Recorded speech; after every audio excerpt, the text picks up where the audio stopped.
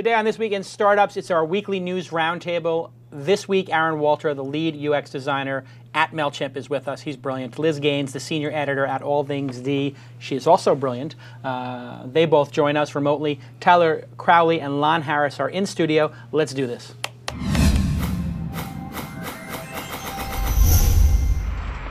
That's what it's all about, man. They said money is the root of all evil. What? How it feeds my people. We ain't gonna live like equals until we get the money, spend the money, and defeat you.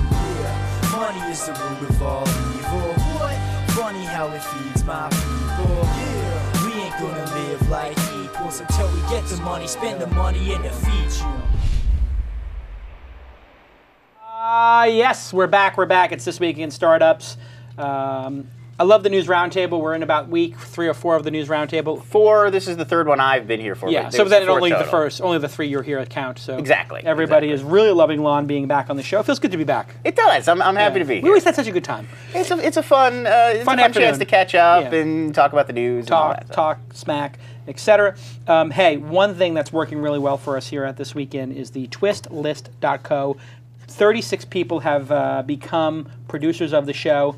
They're all on a private email list, and I would like to personally thank executive producer Kyle Lonzo, Austin Miller, uh, Rashawn Sorley, Rob Kuntz, Greg Berry, and Sean Lynch. Those are my new executive producers. Thanks for signing on, guys and gals. Uh, also, producer Ildar Kamiv. Kakamov. Kakamov. Somebody's going to have to help me with these, the phonetic spellings, because I am dyslexic. And uh, our supporters, and supporters are very important as well. Joa, Joel Fernand, and Beatrice Tron. Tron. Um, thanks, guys. Thanks for joining the family. We'll see you on the email list, and you'll be helping us produce the show. Uh, boy, what a great show we're going to have today. Um, and we've got a great roundup of people and a great roundup of stories on the program. Uh, Liz Gannes for the first time. Liz, are you there? Yeah, I'm here. Oh, awesome. Great. Welcome to the program. Uh, of course, you started working at All Things D when?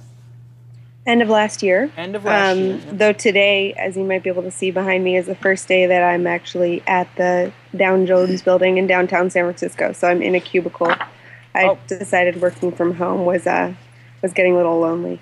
It does get a little lonely. That is the problem. Uh, so thanks for joining us the program. Looking forward to hearing your thoughts because I know you're covering a lot of the big news stories. Also uh, with us is Aarron. Um, Aarron was a judge. Um, Aarron Walter uh, was a judge at the launch conference and is actually. I, I asked on my Twitter, who is the product genius behind Mailchimp? Mm-hmm. Turns out it's this kid Aarron from. I don't, where are they based? Aarron, where are you based? We're based in Atlanta. Atlanta, and you are uh, the lead user experience designer uh, at Mailchimp. You make the beautiful product that I use every day. I am one of the people. uh, I'm the lead of the UX team, but they're they're a team of smart folks that I work with. Yeah. And um, also, Mailchimp has become a great supporter of the show, uh, and thank you to them for that. Uh, I talk about the I talk about Mailchimp every week. Do people at Mailchimp actually listen to me talk about the product, Aarron? Is it like uh, do people wonder Oh, what. I'm going to say every week? Yeah, we love it.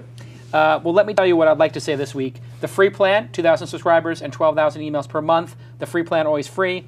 And the product is just elegant and simple and easy to use. I keep I keep flip flopping back and forth. Do I want to do text emails? Do I want to do HTML emails? Mm-hmm. Do I want to see the open rate and this massive statistics that they provide, or do I just want to go old school and do text? Today I did old school text with my story on Skype, and uh, it's just great that it just goes out so fast. The last provider I have, I would send my email, I'd be waiting hours. I have to call three times. Oh, you're in the queue, you're in the queue, you're in the queue. Six hours later it comes out. You know, I'm in the speed business with news, and MailChimp gives me my entire edge. Go ahead and sign up for the launch newsletter, launch.is slash newsletter, and um, use that. So now we have uh, our 10 news stories. Lon, read us the first. Uh, well, the first highest voted uh, news story on Ranker.com this week was uh, Microsoft's acquisition of Skype.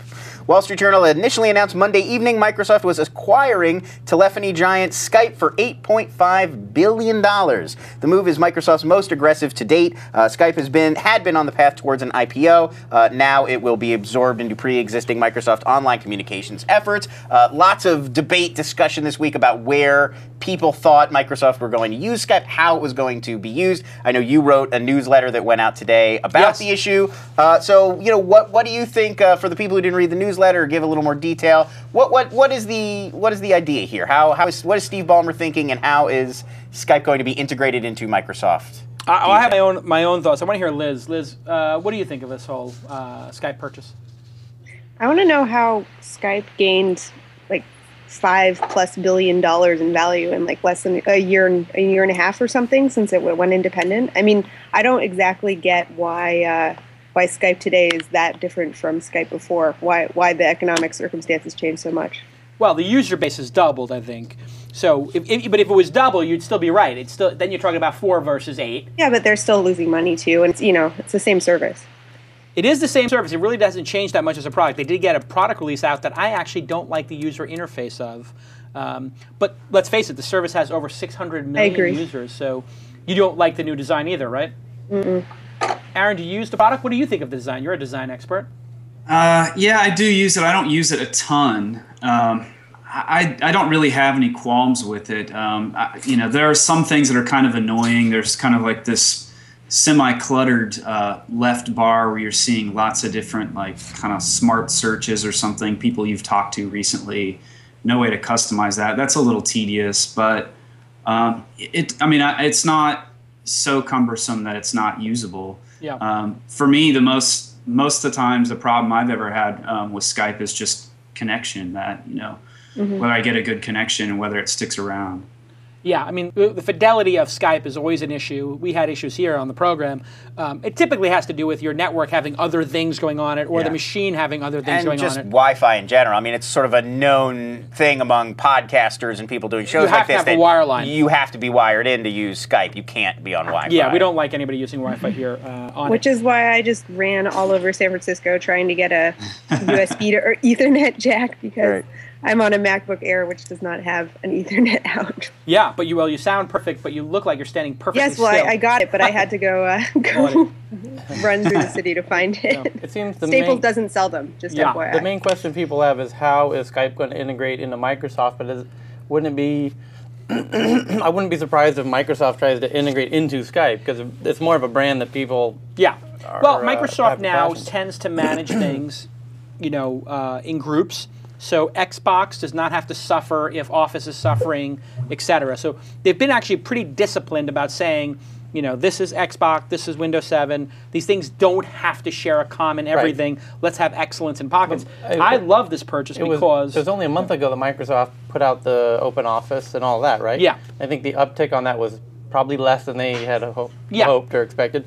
This is a way to put in document sharing and everything else into the back door of Skype.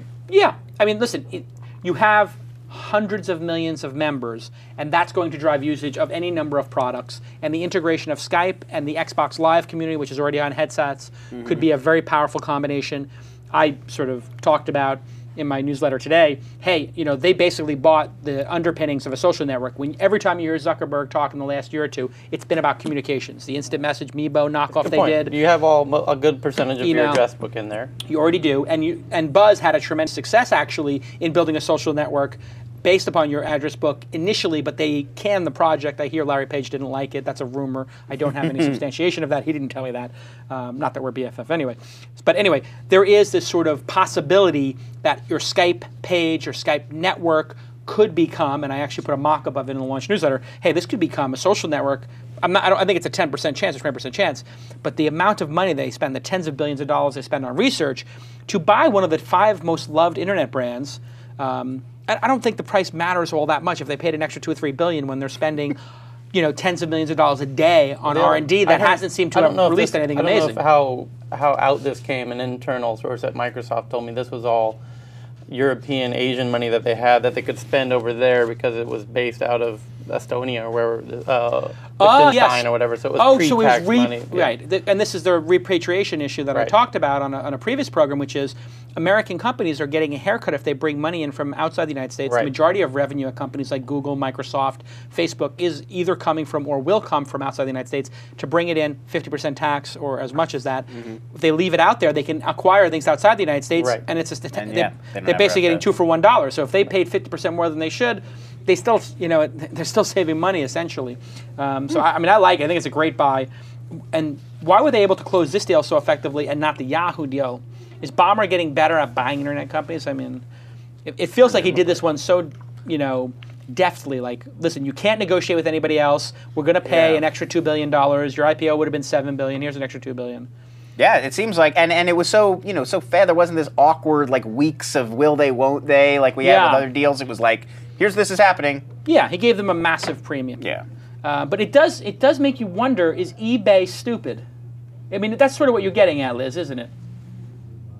Well, maybe it wasn't the right fit for them. I don't know, or maybe they weren't like, willing to put the resources into it it needed. But I mean, why didn't they then just take it public themselves and spin it out and get the seven billion dollars instead of selling it for two? Right? It didn't seem like they really had much love for it anymore. They're you know they're focused elsewhere. They think PayPal's their big business.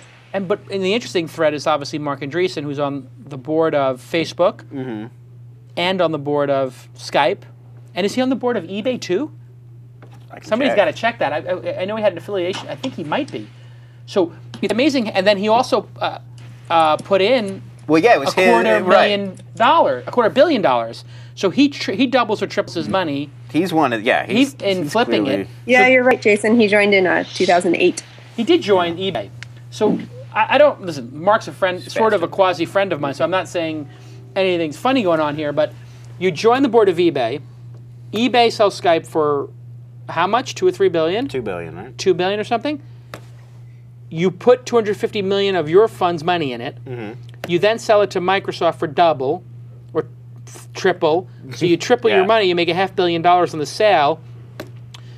I I guess yeah. This is He's, so he's doing all right. hey, no conflict, no interest. yeah. No conflict, no interest. Moving on to the next He had a story. good year. Uh, it- it's actually moved up into the number one story in the time we were talking about the last story. Chromebooks, Google Chromebooks, notebook computers that will run Chrome OS, uh, cloud-based operating system. So uh, Chrome OS is only going to run web-based applications through a Chrome browser. This is going to give it more battery life and make the whole thing a little bit uh, faster. They're going to be available beginning June 15th. The initial releases are coming from Samsung and Acer. Samsung's device is going to have a 12.1-inch screen, eight hours of bat- battery life. It will run you $429 with Wi-Fi, only 499 with a 3G option. Acer, it's a little bit smaller. It's got a little bit less battery life, but it starts at $349. But here's the even bigger, I think, potential game changer. There may be plans to allow people to rent these Chromebooks for as little as $20 a month. So, how disruptive do you see this being to the PC and laptop market as it stands right now? Um, and do you think this means we really will, as Google are, is saying, never get a Chrome OS tablet?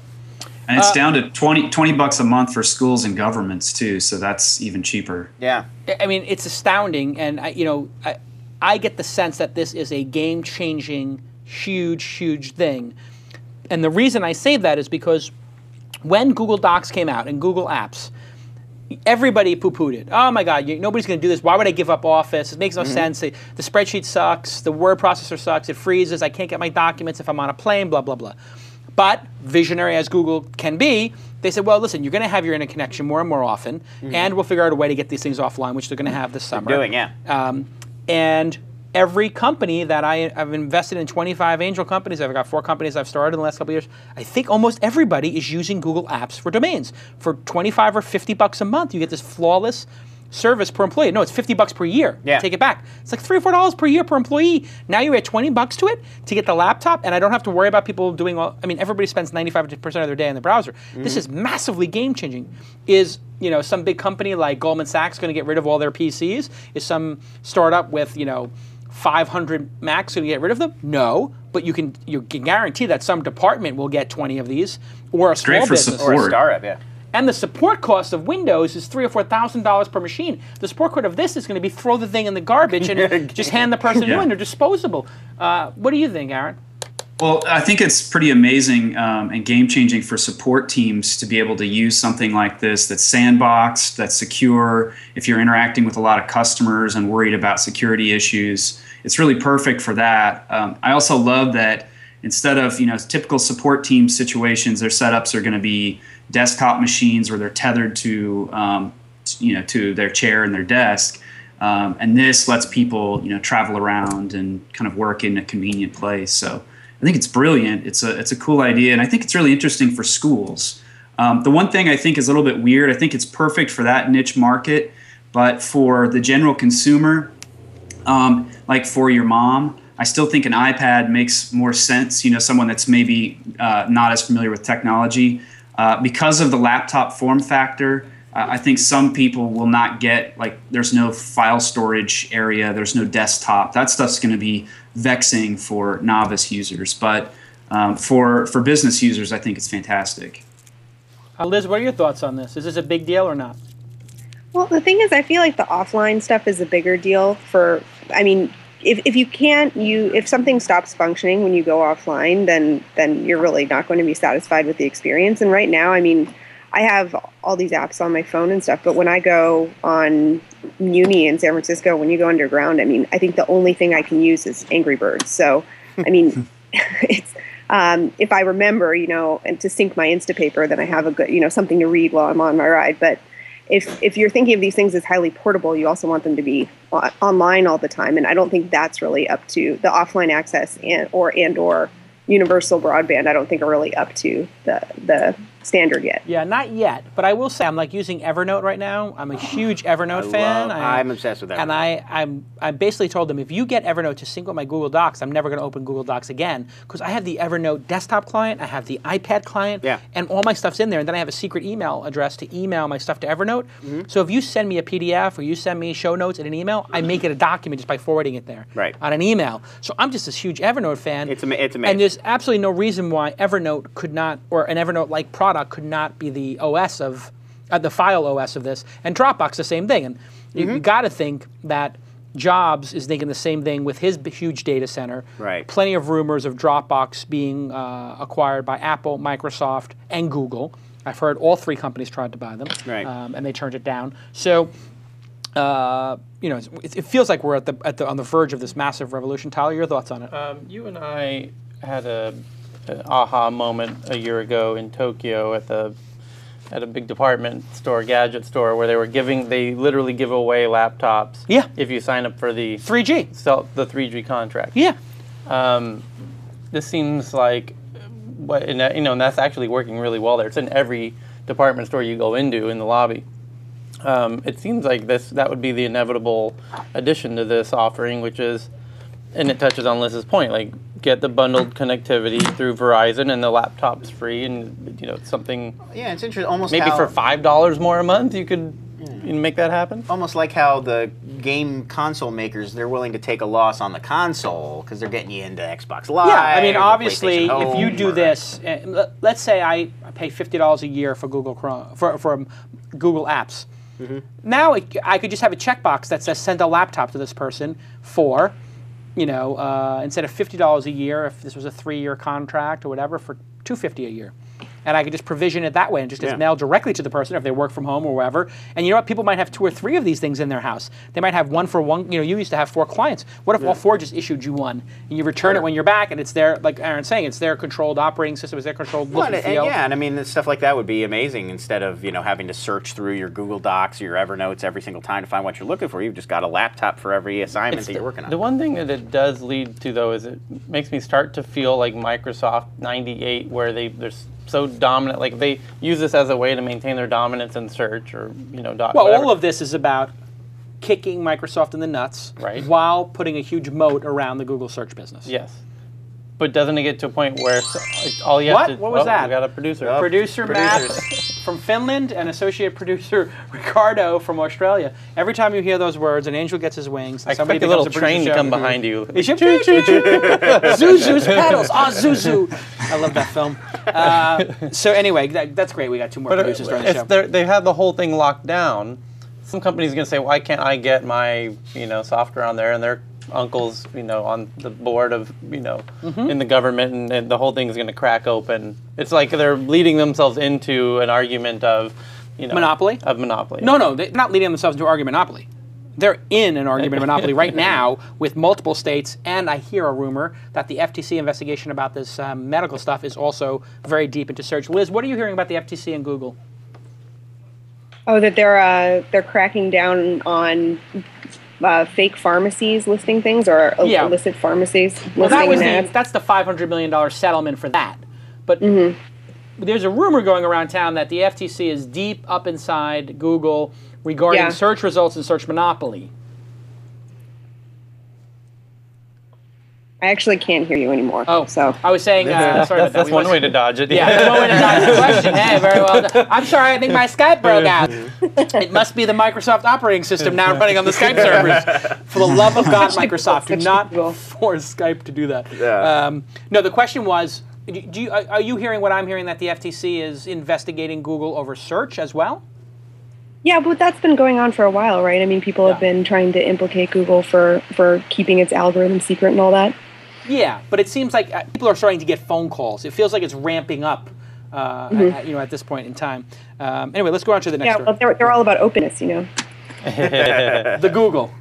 Yes. They're open. It, you know, it's, it's like they say, you're open unless you're winning. So whatever, wherever you've got your monopoly, you're not open. I mean, the Google Panda update just shows that. I mean, they're- they don't want to explain anything about that to anybody, but.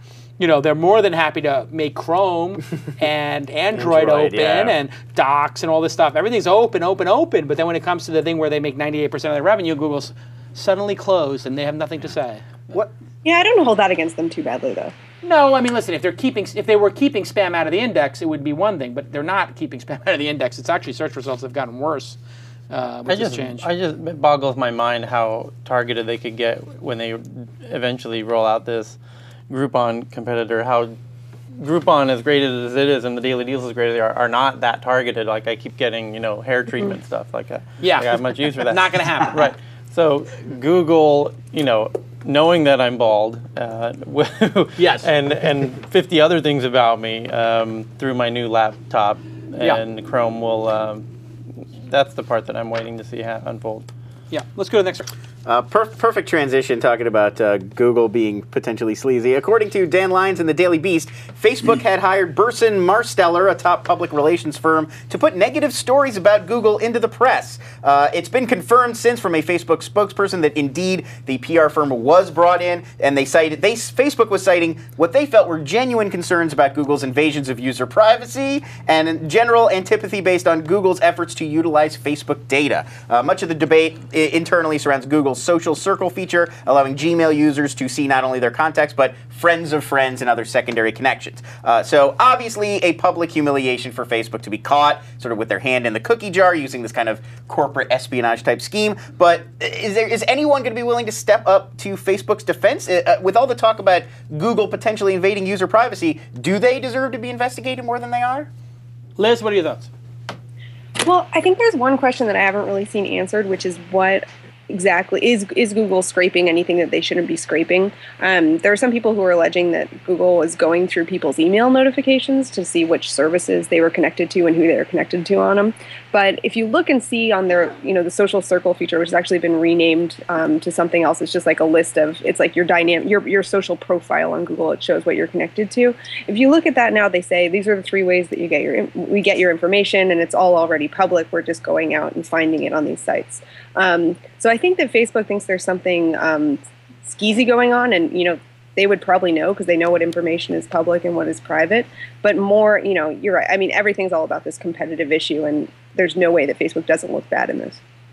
Yeah, it, it, it's it seems so unnecessary to hire a PR firm to get Google in trouble when Google is knee deep in trouble, and you are the privacy breaking bad boy of the internet. Well, I think to me that's why they did it. Is like, hey, maybe we can make Google out to look like, oh, they're As just bad as as we bad. do? Right, right. Yeah. Like make themselves look a little better by making their main competitor Bring look them worse. down to the mud pit that they're already in. That's what I assumed. Like the best way to, to distract people from your own issues is to figure out somebody else who's doing the same thing. And Be like, oh, but we're I'm just like them. Look at their they're even worse.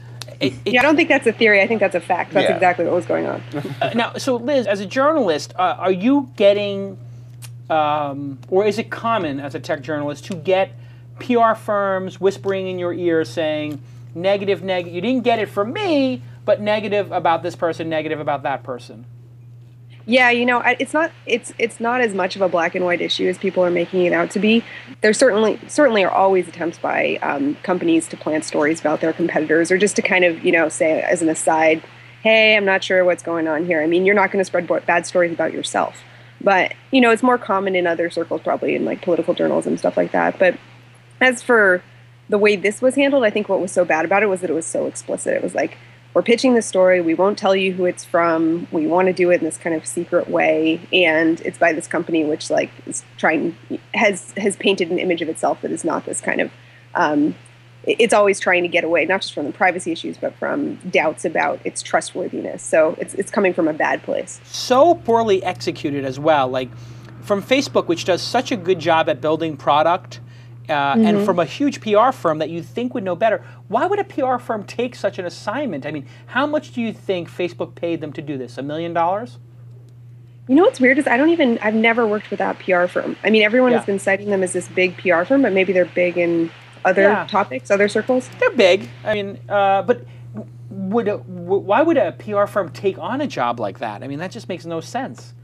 No, the whole thing is kind of unclear. And then it's also, you know, these former journalists are, took it on. And now uh, the latest report I saw was that now the PR firm is saying that they are giving their journalists, their, their, their employees, their former journalists, ethics training in journalism. So it's, I mean, the whole thing's really Oh, awkward. Wow, that's a that's great. I mean, that Yeah. solves everything. I mean, also in related news, the Galleon hedge fund guy is uh, going to get you know driving lessons. Yeah, I mean, Bernie give me a break. Madoff's giving financial ethics Absolutely, yeah, he's going to be giving Uh, giving I financial. heard about yeah. that. Yeah. Uh, Aarron, what are your thoughts on this whole uh, boondoggle? Is Mailchimp uh, is Mailchimp uh, hiring a PR firm to slander your competitors? Yes or We no? are most certainly not. I mean, it's it's one of those things like Facebook does stupid stuff like this, and I I I think that for the most part, like we'll see the stupidity and the irony of this, um, and it's sort of you know transparently um, a bad idea. But I think it's kind of inside baseball, and for general users, they won't really care. It seems like you know all of the for all of the issues that Facebook has had with um, privacy and whatnot, it's uh, it's sort of like the crack of the web. I don't really think that there's anything right now that could uh, put Facebook in a, in a bad spot um, in terms of PR. well, Yeah. China. Oh yeah, good point. China would, uh, if they operate in China and start turning dissidents and journalists and protesters over to the Chinese government, which is what the Chinese government will require, which is why Sheryl Sandberg says she does not want to go to China, but she will acquiesce, according to I guess a Forbes or Fortune report. Yeah. she will acquiesce. Um, Zuckerberg is actually willing Yeah, to was, send uh, people to death Bloomberg, camps. actually. Or Bloomberg, yeah. I guess we give, give credit where credit's due. I mean, are are you telling me Zuckerberg would allow Facebook to operate in China knowing that Facebook will send people to their deaths and to prison camps and hard labor for the rest of their lives for freedom of speech issues? I mean, Who in their right mind would operate a business? a million users isn't cool. Well, it's a billion users.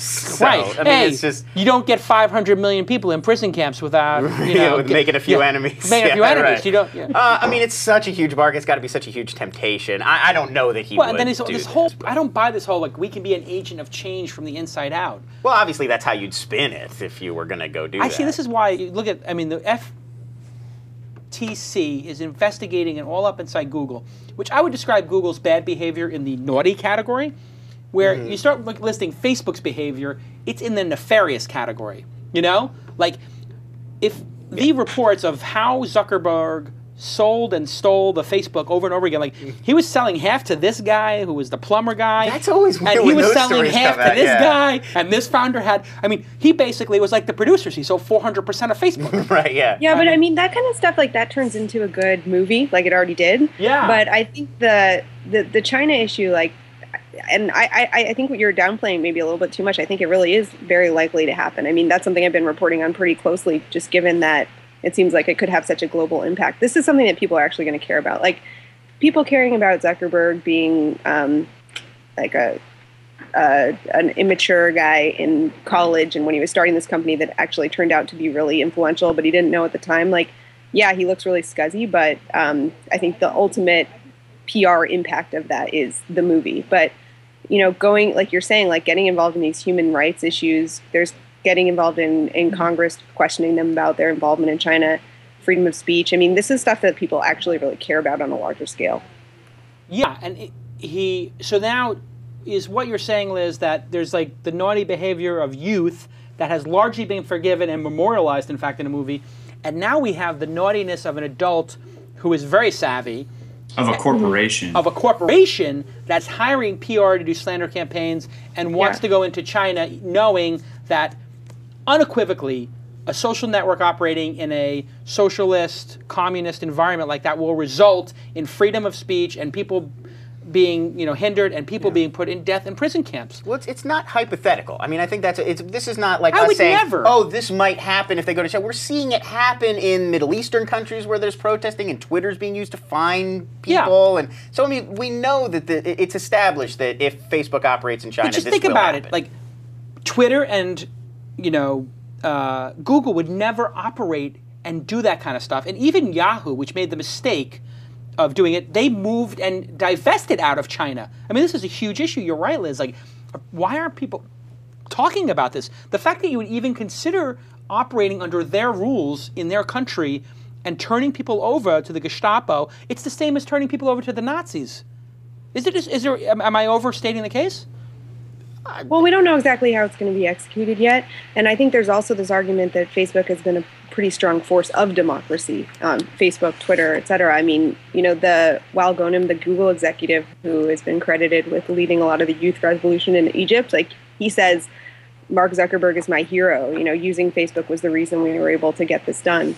So I think that that's the way that Mark Zuckerberg sees it. He's not, you know, I don't think he's like a at this point, I don't think he's scheming to uh, Make more money? infringe on people's uh, human rights. I Right. think he's thinking about how can he have the most impact on the world, and the way he can have the most impact on the world is not by excluding this huge portion of it. And the way that they're talking about it is they're trying to do it in a way that they would bring they would have Chinese users have a not a separate version of their site, but be connected to the rest of of their network because that's the way that they would you know bring the open type of communication that we have on the rest of the network into China.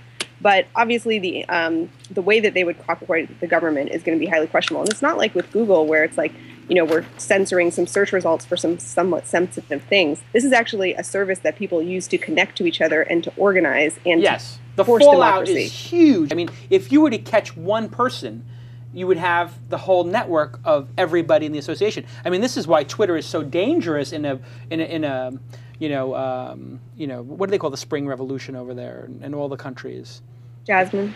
Jasmine, the ja- this is what the whole Jasmine revolution has as a problem. As much as this can empower, if you get the whole social network and you're willing to shoot people like they are in some of these countries, Sure. Syria, I guess, is shooting people. Syria, uh, and dead in the street. And Libya. I mean, I mean, they're shooting people over down and the over, yeah. street. So, what would I mean if they find out, hey, you- you're the leader and you have hundred followers, just shoot all hundred. and and it's the way that these systems work. I mean, they they do allow for this kind of organization, but they also kind of work against it. I mean, But what if it's twenty thousand followers? What if it's you know fifty thousand followers? What if it? What if Facebook in China actually flips the opposite way? Yeah. That if you have scale, it's really hard to kill fifty thousand people. You can kill hundred people, but you know when it gets to a certain scale, it's a mob. And you know Yeah. we saw what happened. We we are, we're already seeing what happens with mobs in the Middle East. and how we saw what happened in. Tiananmen Square, and Sure. we saw what happened in the killing field. So, I mean, yes, it can go either way.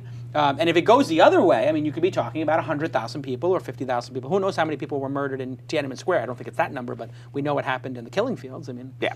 I tell you, if I were if I were Hillary Clinton, I would be at Facebook and Twitter on a regular basis, consulting and talking about how uh, you know United States national interests could be um, brought to pass through social networks. that's a yeah really but you know it's actually been it's been interesting to see twitter and facebook's different um, acknowledgments of that role. I think twitter has been a lot more explicit about saying we are um, a force of social good um, and even to the point where i think the after some of the revolutions in the middle east that someone from this from someone from the White House actually went on record saying like that the right to social network is a fundamental privilege, um, which is like kind of insane. But then if you talk to people at Facebook about it, they're like, don't you know, keep it kind of keep us out of it. We don't want to be known as an overthrower of governments because we actually want to do that, but we don't want governments to think of us that way. Hmm. This is a major issue. There should be some agreement between all corporations in America of how to deal with China and freedom of speech and stuff like that. It should be a because what's going to happen is now Facebook's going to go in, and then it's like, oh, now every other shareholder in all these other companies has to think, oh, Facebook's going in and they're going to compromise. Now I have to compromise because I'm costing my shareholders dollars. Yeah, I mean the one. The Yeah, one. If, go, go and not only that, but there's companies, you know, now there's Chinese companies. The biggest uh, Chinese social network just went public in the U.S. last week. So, and and I mean, this was this is not fully substantiated, but they expressed an interest in buying MySpace.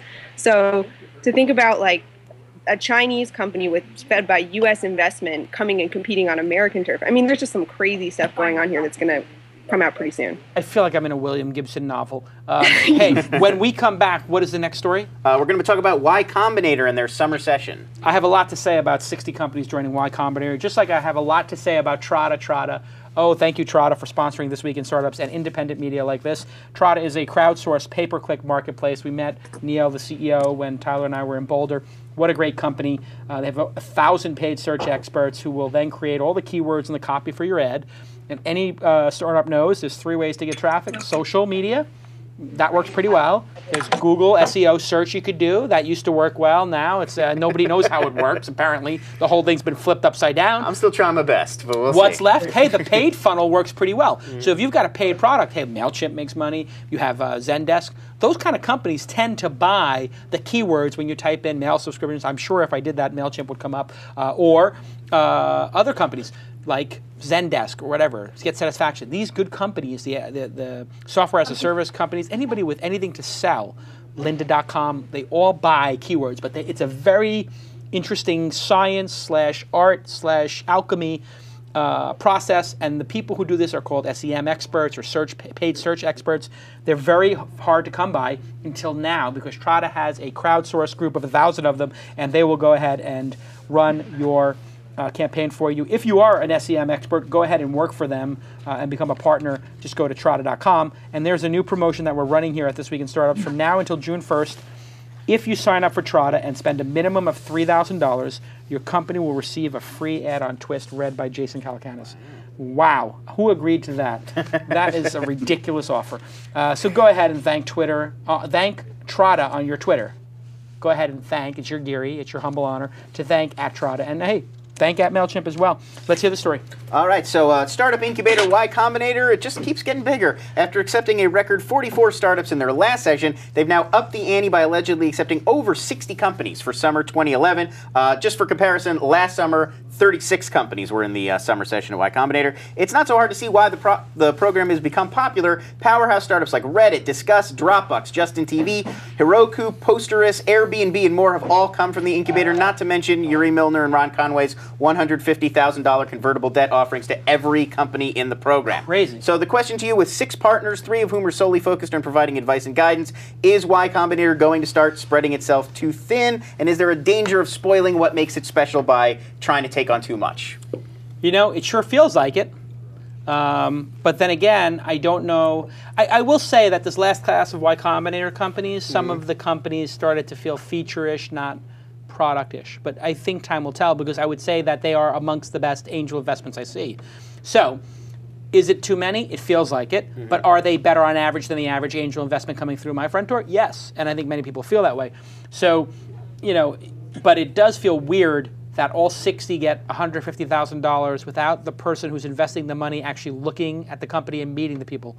I don't think, and I know it's not dumb money because Yuri's not dumb and Ron Conway's not dumb, but it feels like a dumb money move, even though it's a smart move because it's a hedge fund move into a, something with an incredible track record. But I don't think that angel investing should work this way. I think it's anti-competitive in a way, and I think it's not in the best interest of the entrepreneurs. The entrepreneur should be thinking, um, how does this angel investor help my business? And can I call them? Can I call them and get a meeting for one hour with them? Well, if there were 44 people in the last class and there's 60 odd in this class, that means Yuri Milner has a hundred angel investments on top of Zynga and Facebook and the other important oh, stuff that he's invested yeah. in. If he does this every year, three classes, there's going to be 180 people a year. He's going to have 300 angel investments within two years.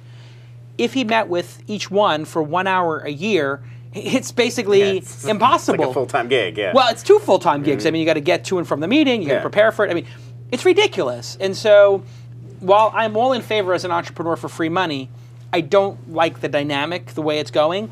Um, and so, I think that they should say, we're going to fund a third of the companies.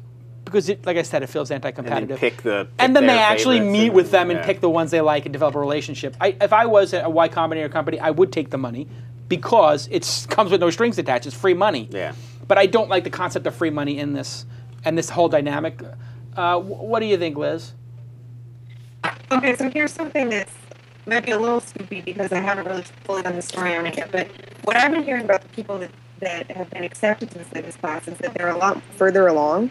That there are companies that already have products, in some cases already have funding. They're, they've been around for a while, and I think that that seems like a natural evolution, in that the Y Combinator is such a great brand right now that they can get such competitive applications that they're not just taking like the two guys who you know who just graduated college and are still fine with the ramen dorm room experience. Like they they're taking these companies that are really already companies and already have an idea, a product, and I think in that model you don't need as much hands-on advice. It's not like the full hand-holding, you know, Right. getting Paul Graham to walk you through every aspect of your startup. So then, what are they then? They're just sort of like a little badge of honor you get. It's like an award medal. You, oh, I'm Y Combinator. I got my Yeah. passport approved. I gave six percent for eighteen thousand dollars, and then I get I make it back on the other round and the dumb money that comes after.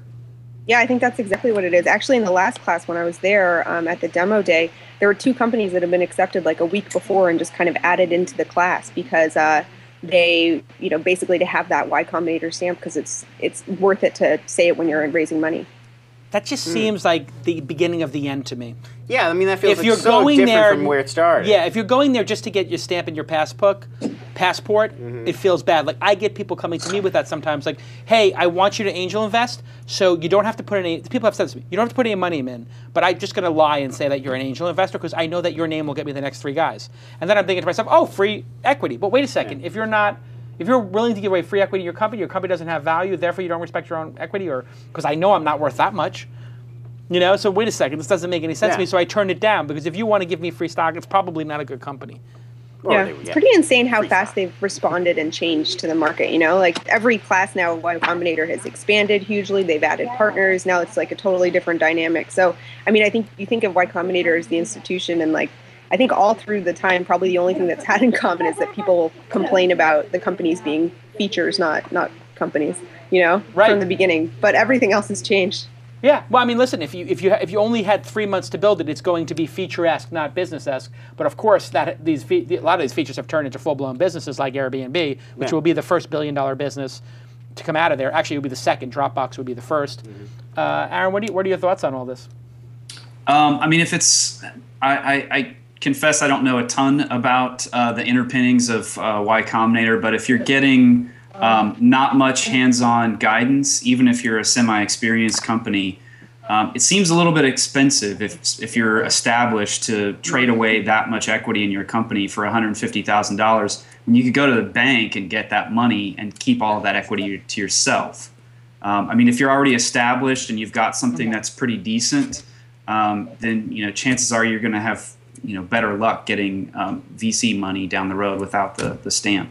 Yeah, I mean, and it's actually six percent for eighteen thousand, or twelve to eighteen thousand for six percent that you give to Y Combinator in common, and then you're giving one hundred fifty for some amount to Yuri that is unlimited cap. Whatever you can get, you get. So that money's kind of cool, but the first money is obviously giving away. Some, The companies that go through though are still speaking very positively of the experience. they are right. so We asked them to every their time; they love it, And in, in regards to DST, and they keep going back. Yes, and in regard to the DST move, had they done the one third aspect, Yeah. it wouldn't have. They their name wouldn't have. They wouldn't have got the marketing value that they did. No, I think they I- would. If they said we're going to think so. invest in half No, it's brilliant. I think it was a brilliant marketing play. on a marketing basis, the Because- most brilliant. Yes, because ultimately, I don't. I, he obviously does care about the startups, but he's going into the much bigger Twitter-like deals and everything, and the Facebook-like deals. Mm-hmm. Yeah. I think it helps to be show a huge motion towards startup the community that Yeah, no, he's, he's here to nobody would argue this is not the most brilliant move ever for Yuri. Right. It's absolutely the most. I mean, it's it's brilliant.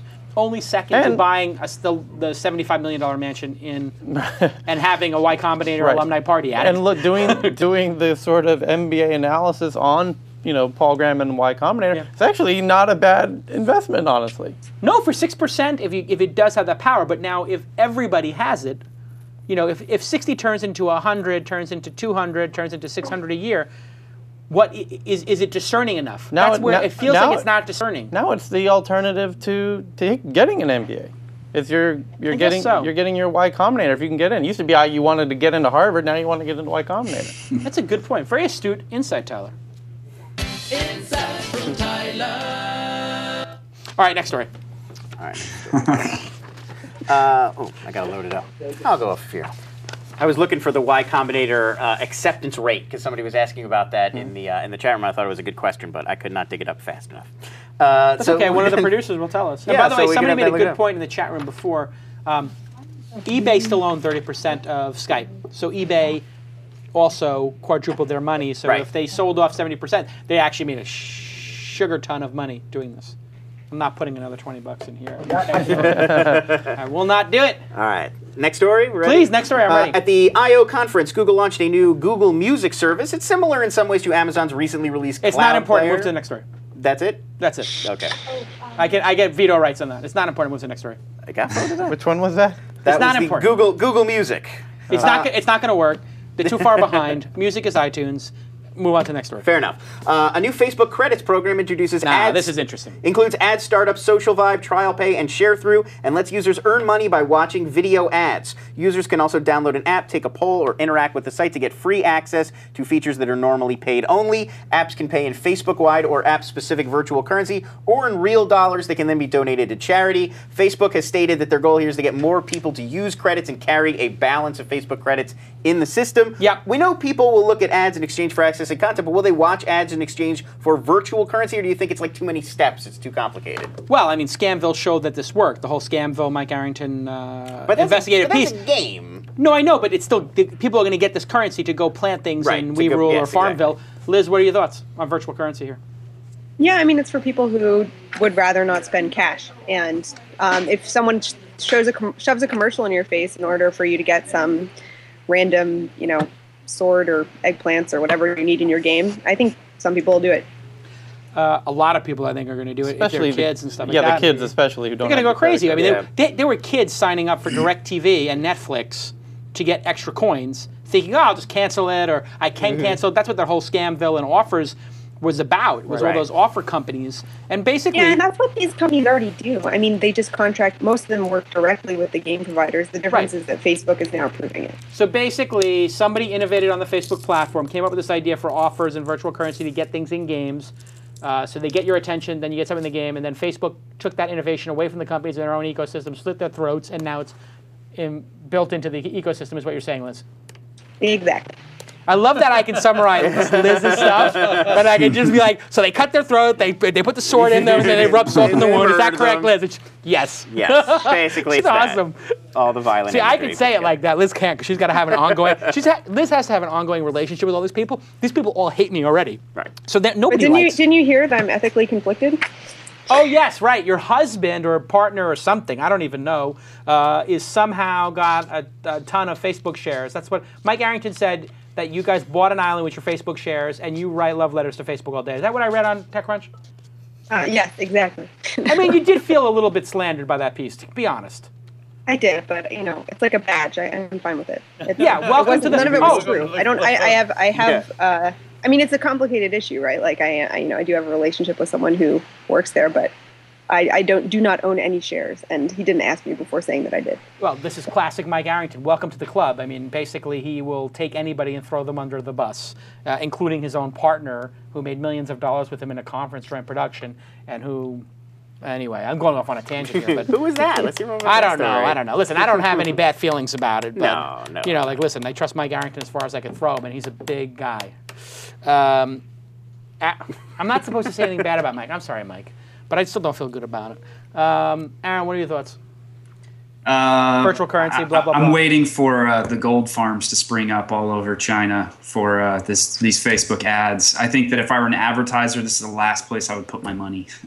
Ah. It's just it's just asking to be gamed, and plus just the relationship it creates with users of I'm asking you to do a task to to view this ad as a task. Um, I just don't think that that's that's going to be money well spent for advertisers. And the better thing would be to just produce a better ad? Yeah, produce a better ad that people actually are interested in. Produce a better product, perhaps? Yeah, Yeah, go. That's crazy. Why produce a better product when I can take that money and put it into a commercial that sucks and make you It's, watch it? it's like uh, paying to polish a turd. Insights by Aarron. You're supposed to play. it. Play it. I'll sing it along. Insights by Aarron. You guys have to go to the Bay Now Bridge I want to get. I want you. Now it's going to be a competition of who can have more insights. Aarron. It's like polishing a turd. Tyler. Come on, that's like Tyler That's an obvious added one? one Third level. grade. That's come third on. grade. That's not like a high level. Sorry, Aarron. You're gonna have to bring many more insights It's to like the a sea captain polishing a turd in a Corvette. that, would, that would be that would be the You Tyler gotta get it. Yeah. No. Yeah. You have to Okay. Let's go to the next story. Next story. Next story. We- We're in the light. Okay. Now it's uh, 50 minutes. We're in the lightning round. That means whoever wants to answer the question, just jump in there and answer it. If anybody has anything hyper intelligent to say, then give a quick rebuttal. But let's get through All the right, last we three got stories. four stories left. So hype use- round. Hyper round. Users can now connect services like SCVNGR, and Foursquare to their American Express accounts and get credited for the deal through the standard card payment system. Foursquare's already launched their partnership back at South by Southwest. They gave participants a $5 Mm-hmm. credit every time they spent $5. So, other credit card companies you think are going to follow suit? You think they'll pursue mobile-based payments that incorporate their own deals? It's um, it's the under, it's American Express is sort of the underdog. Is get it's it has been very surprisingly active in embracing social media. Um, I know more than I can say, but it's, it's very impressive what they're up to. It is impressive that American Express is leading the pack. Visa, Mastercard, other people are not. And so the idea. Visa's showing stuff with the Square and everything, but I mean, American Express is like, wow, they're really getting into the. Well, I mean, local merchants is their bread and butter, right? So there's there's it's they have two constituents. They have the local merchant who they're charging in American Express case four percent, Visa two percent on average. I don't know something less. like that, three and one and a half. It's down to nowadays. Um, and then you have what card do you pull out of your wallet and why? Mm-hmm. And so the is does that mean Foursquare and Gowalla and SCVNGR are going to be bought by these I mean, companies? it's, it's pretty self-evident. SCVNGR is young kids using that. American Express is old business folks, and American Express needs to get the kids if they're gonna, uh, uh, you know. So Did you If I see there was also one more deal since then, which is they um, American Express part is partnering with Ven- Venti Privé. Is that how you say that? Yeah, The, Vent- um, Vent- Vent Privé. Yeah. They're they're going to launch their U.S. site as in a partnership with American Express. I think that was just that just came Oh, out Vent yesterday. Privé is coming to the U.S. Yeah, my, my Mon- colleague Tricia Duryee had the had the story yesterday morning. I Mon think. Dieu. Are they going to take the dash out of it? I mean, you know their domain has a dash in Yeah, it. yes. I mean, the most successful company to ever come out of France, they have a dash in their name. Kind of Only the French. They, they overcame. They Only the overcame French. dash. Yeah, exactly. Ah, but you know what? You have to give Vente-Privée uh, some credit. Vente-Privée was the first company to uh, use this big, bold imagery on their site and the wall. Like you have to sign up to do it. And that, of course, has been copied by Bing, and Gilt, and all this stuff. And Gilt will tell you they they just went over went after Vente-Privée to the United States. Are they going to be successful in the U.S. You think?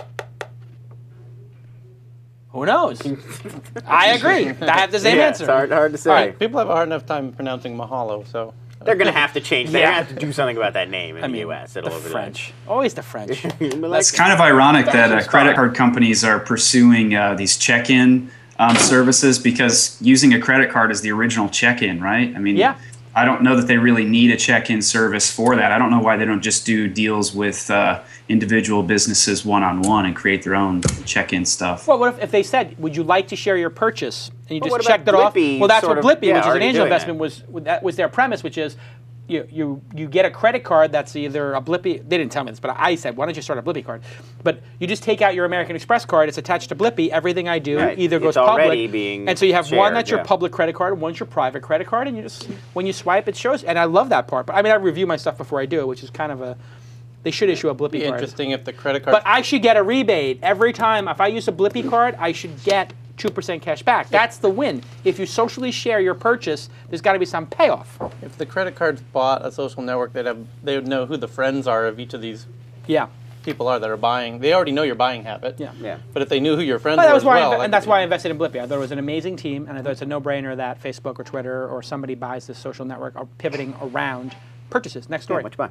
Uh, so, at, uh, also at Google's I/O conference, Android developers got a sneak peek at the simplified Google TV interface the company plans to launch this summer. Not sure if you feel the same way about Google Music. We should just go No, right no, on. no, no, keep going. Uh, changes are part of a significant retooling aimed at solving some of the consumer complaints about last year's inaugural Google TV rollout, which was criticized by many pundits and produced lackluster numbers. Google TV's Jason Bayer told the developers present that a main objective was to remove unnecessary features and make it easier and more intuitive for users to just get started watching TV or playing with apps. The new Google TV is going to run Honeycomb 3.1, the same version of Android that currently runs on tablets. So, uh, do you think that the lackluster response to Google TV was a direct result of poor features, as Google seems to think, or is there a deeper issue here, like general lack of interest in the integration of TV and internet? Anyone? It also cost a ton of money. It also was mean, very expensive. The products that came on the market were super expensive, and they didn't. It wasn't really clear if they were giving you any content that you couldn't get already, and I think in a lot of cases they weren't. Yeah, I I don't So know exactly they why I need Google products. TV. well, Why- they were tied to you. Was it you had to buy like a, it was a cable box, there was a Blu-ray player. There wasn't just like a Google TV box like It's there's got an to Apple be. TV box. I just ordered the LG because I got a lot of stuff going on with video. Obviously, Mahalo is producing a thousand videos a week, and this weekend is producing thirty hours of content. I just bought the LG. Mm-hmm. It's sitting out here in the lobby. The LG connected TV, and I got the Samsung connected TV coming.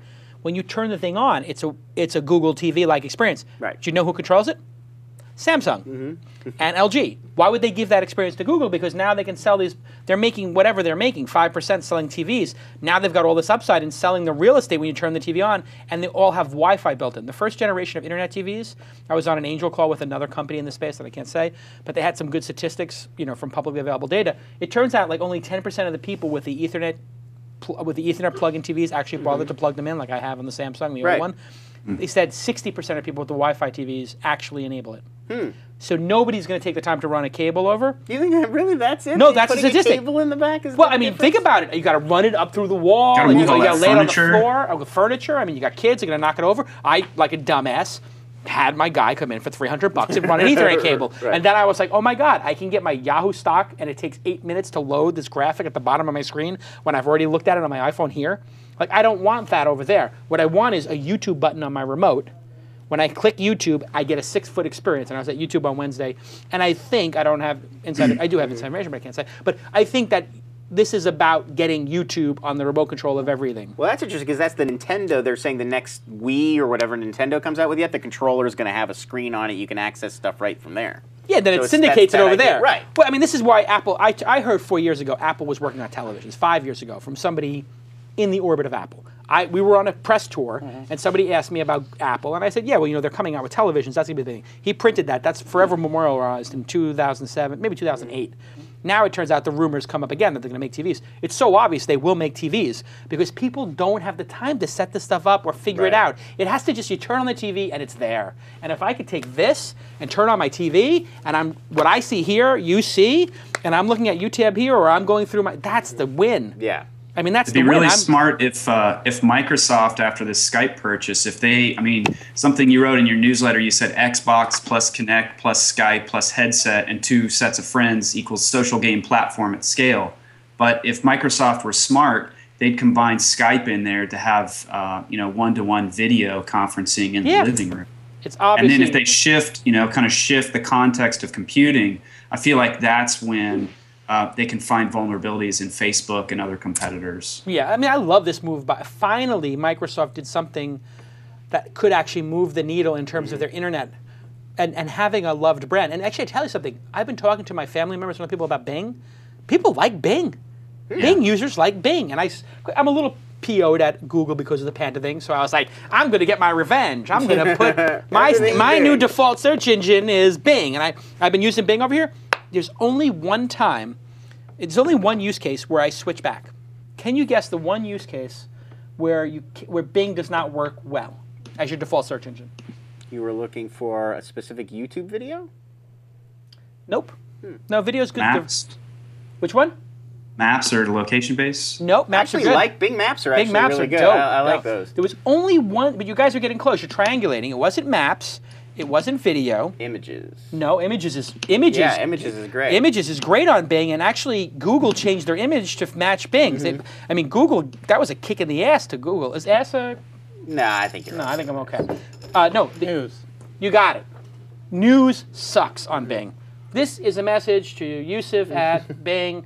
Fix the goddamn news piece because I'm doing my ego search for Calacanis. I can't find news. I do an ego search for this company, for that That's company. interesting, too. It's not. This news search is not good. Google News is so competitive to get in. All the companies want to get into the Google News, and they're Mm-hmm. not accepted. It's interesting that it might be an opening for. for I just think everybody should just do Bing for a week or two and see if they switch back. And because switching takes mental energy and time. Everybody do it if you haven't. Switch to Bing and then will you do it for a week? I was using Bing because No, we do had it. them as sponsors. yeah, yeah. of the Will you do it for the week though? We'll talk about next Friday. Do it for Yes. the, we're talking about next Friday.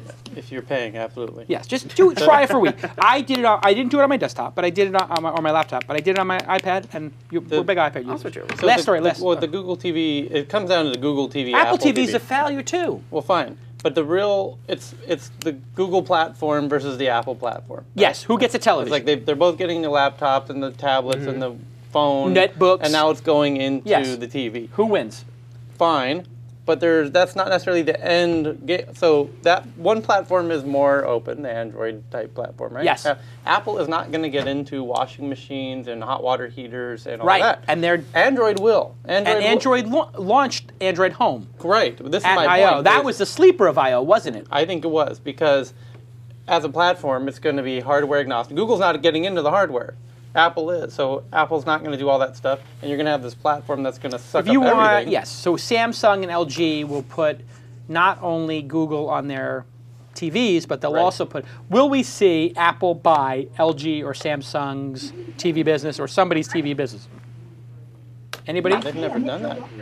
Why wouldn't somebody buy a plasma TV business? I think it's not in Will their their DNA market? that they, they they come out with a whole. Yeah, it wouldn't provide that holy experience of It's like. got to be yeah. That's the out ge- of- no, I know, but that's the born genius of the move. That's the loins of genius move. Steve Jobs. It's got to be exactly to his specifications. last story. Gotta Last story. in. Last story. Last story. Uh, well, I'll give you a So choice. one, one You- thing on that is, is uh, I think that maybe the, one of the more interesting things out of I/O was that the oh no, did my video cut off? Don't worry about it. We hear you Uh, perfectly. Yeah, it was just just to say that the, the that Google TV session was um, one of the most well attended of the conference. It was like a line, line, lines and lines and lines to get in. So the I think it's interesting to know that they have the developer attention, and the developers would want to have a consistent platform on Android across all these devices. And if people are desi- developing for it, um, Google could have an advantage, whereas like Apple are, still has that advantage on uh, the mobile app side.